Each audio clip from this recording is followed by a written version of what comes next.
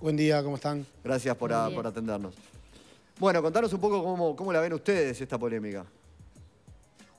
Bueno, nos parece raro que distintos ministros eh, hagan este planteo, como decías vos, es algo que ya está legislado, estuvo presupuestado.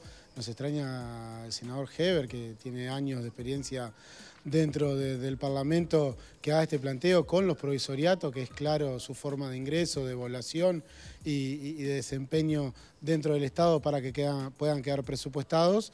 Y nos extraña el planteo y en este momento donde se están haciendo anuncios de cómo van a ser los gabinetes, los distintos ministerios, salgan con esta polémica que realmente no entendemos por dónde viene y cuál es el planteo realmente que quiere realizar los distintos ministros que lo han planteado. ¿Consideran que este tipo de declaraciones embarran la cancha, como dijo José López? Sí, ponen nerviosismo a los trabajadores, embarran un poco la cancha en el diálogo que veníamos teniendo. Nosotros tenemos una reunión pendiente eh, con el presidente electo y su equipo para, íbamos a discutir las vacantes, eh, el ahorro de los 900 millones que plantea el gobierno electo. Y bueno, ahora le sumamos eh, esto de los provisoriatos que realmente nos preocupa y ha puesto preocupación en todos los compañeros que están en esa situación porque ante las declaraciones siente que su estabilidad laboral está comprometida cuando vienen trabajando hace 15 meses para el Estado y los que lo hacen de buena forma van a quedar presupuestados y los que no quedará la vacante libre, pero no se puede hablar de, sacar al barrer o de analizar todos este, estos contratos al barrer porque realmente hay que hacerlo caso a caso y si cumplieron con todo lo que tenían que cumplir deben ser funcionarios estatales. Pereira, explíquele a, los televidentes eh, cómo una pasantía se transforma en provisoriato y cómo un provisoriato puede quedar en, trabajador público permanente. ¿Cómo, ¿Cómo, es el proceso? No, creo que ahí eh, es el error como lo ha planteado Heber y como lo han planteado algunos eh, ministros que no son pasantías, son eh, el provisoriato son eh, vacantes a tareas permanentes dentro de un organismo que en caso que ningún trabajador del organismo la pueda cumplir, se hace un concurso, un llamado a través de Uruguay Concursa, para que se cubra esa vacante. Cuando inicia la vacante de provisoriato, ya está la vacante asignada y el gasto de esa vacante. hace, pasa el concurso, hace una prueba de aptitud para ver si puede estar en la tarea, pasan los 15 meses donde se lo va evaluando y hay un tribunal final que evalúa todo, asistencia, tarea, compromiso, todo lo que se evalúa en un tribunal y si pasan este tribunal recién ahí quedan presupuestados estos compañeros, no quiere decir que todas las pasantías que pueda haber dentro del Estado o algo van a quedar presupuestadas, sino que era una tarea permanente que no la pudo cubrir ningún trabajador del organismo que ya estuviera trabajando. Pero no deberían ser excepciones porque hay carteras que están hablando de 500 cargos. Bueno, los números nosotros los estamos eh, analizando con los distintos sindicatos de base y recabando la información para el día de la reunión tener todos los números arriba de la mesa. Se plantea que en el MIDES hay 500, estamos eh, viendo si es, así o no es así, pero... Pero puede ser, puede ser un disparate, es un número que, puede estar acercado a la realidad. ¿Alguna aproximación tendrán de, si hay 500 o son 20?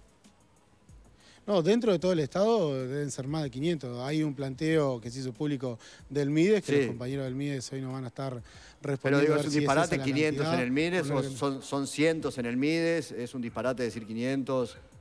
Se, debe no, no sabría decirte si es un disparate no, eso depende del funcionamiento del MIDES, que muchas veces eh, funcionaba a través de ONG o cooperativas. Creo que ir eh, presupuestando a esos trabajadores que hacen tarea permanente dentro del MIDES, fueran 20, 200 o 500 como se habla, si son necesarios está bien, hay que analizar.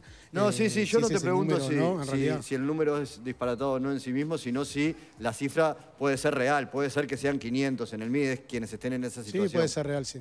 Bien, bien, eso era, Sí, puede ser real, sí. Ese la, era el punto. La otra pregunta que se me ocurre es, ¿quién determina que esa tarea no puede ser cumplida por... Eh, los funcionarios que ya están? ¿Quién decide llamar a ese concurso? Bueno, esas son las autoridades de, cada ministerio, de cada organismo. El sindicato no es consultado, no tiene opinión al respecto, no, no, no participa para nada. No, nosotros participamos como veedores, eh, tanto en el llamado de ingreso como en la evaluación final. Participa COFE eh, como veedor del mismo tribunal, pero no en, las, eh, en decir cuánto faltan o dónde faltan. ¿Tienen previsto reunirse con la calle Pou y también poner sobre la mesa este tema?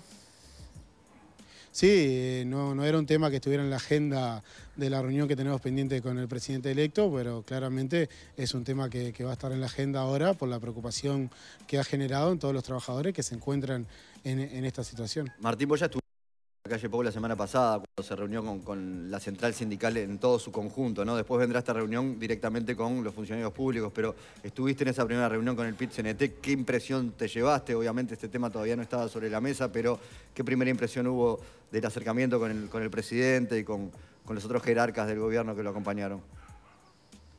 No, bueno, fue una buena reunión, se instaló un diálogo y un puente de diálogo con el Poder Ejecutivo.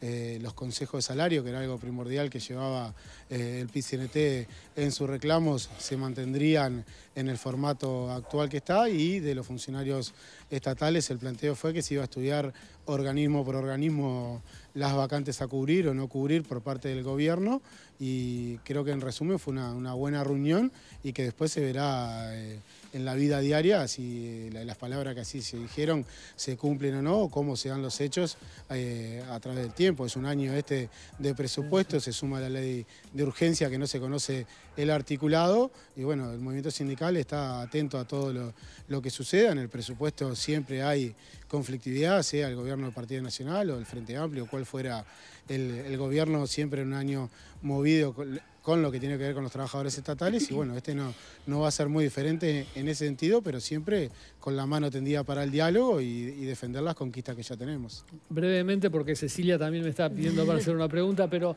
¿qué opinión tiene COFE de cómo se han eh, procesado estos llamados? Porque 500 en el MIDES o una cifra parecida suena, suena mucho, es decir, COFE cree que se ha eh, utilizado bien por parte del gobierno estos llamados, han sido eh, convocados cuando era necesario estrictamente?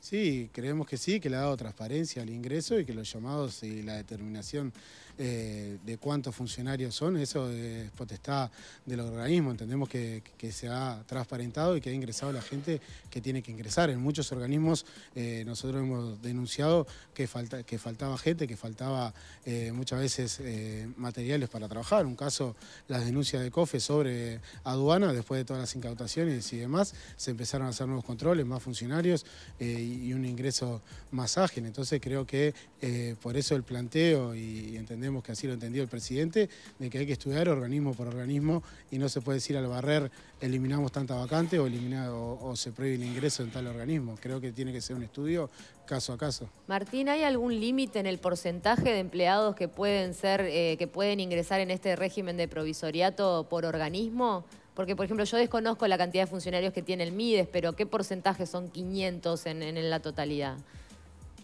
El porcentaje exacto no lo tengo, pero no hay nada legal que prohíba eh, la forma de ingreso, que es la forma de ingreso al Estado a través del provisoriato. No hay un límite en cada organismo dependiendo de los trabajadores que ya tenga. O sea, no tiene por qué ser un 10%, un 20% como tope para que ese organismo use este tipo de régimen. No, no, para nada. Bien. Martín, muchísimas gracias. Gracias a ustedes. Martín Pereira, presidente de COFE, que nos acompañaba